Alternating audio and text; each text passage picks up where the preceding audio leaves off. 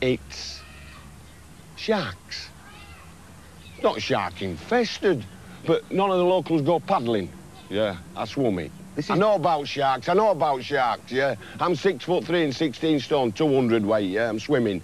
These pumps, see these pumps, these were hanging around my neck when I done it, yeah. I thought, well, Jaws are the conditioner, I know how the condition people, yeah, Jaws, boom, boom, boom, boom, yeah. They're just flying about. You've got know how job works. Your sharks, they'll have a look at me and think, yeah, I know how to do them. You punch them right in the fucking ear hole and they swim off.